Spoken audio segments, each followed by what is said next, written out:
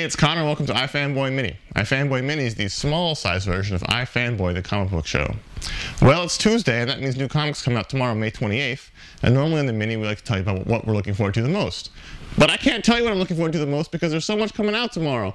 Normally, I'd say Action Comics 865 and Green Lantern number 31 from a Double Dose of Geoff Johns. But I can't even tell you that because that's not the most exciting stuff. Final Crisis number one comes out tomorrow. That's from Grant Morrison and J.G. Jones. And it's the big summer event for DC. And uh, I'm excited. I'm, I'm, really excited for it. Also, from Grant Morrison, you've got Batman 677 with art by Tony Daniel. That's part two of the Batman RIP storyline, and that's exciting. That's really exciting. And if that wasn't enough Grant Morrison for you, we've also got All Star Superman 11 with art by Frank Quitely and that's might be might be the best comic book being put out. It might be. It's definitely up there, and that's you know whenever it comes out, it's exciting little holiday for everyone. Um, not really because you've got to go to work, but it's a it's like a holiday.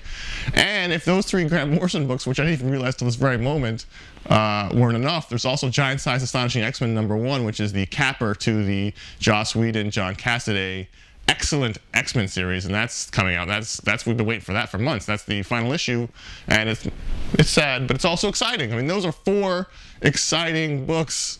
I really can't wait to get my comics tomorrow. It's going to be a great week. I think it's just fantastic books tomorrow. If you want to check out the full shipping list, you can go to ifanboy.com slash comics. You can see all the books there. You can you can pull them. You can show us what's on your pull list. It's very, very cool.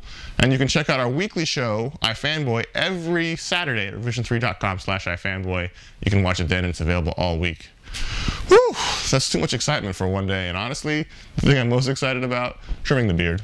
It's getting a little, it's getting a little long. It needs a little bit of a trim.